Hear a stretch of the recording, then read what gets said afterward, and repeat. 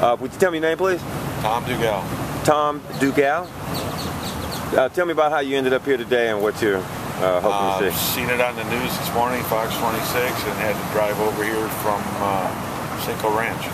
Whether I'm saving anything or not after the drive, I don't know. I hear you. Well, what do you think about gas prices today? I think they're outrageous. I think they need to come down. I think they should drill more in this country. I'm hearing uh, by this summer gas prices may shoot up to five dollars. Would you be well surprised? Not surprised at all. My work fleet vehicles, they're, they're going to have a problem. This one here is okay. Okay, I sure appreciate it. All right, thanks.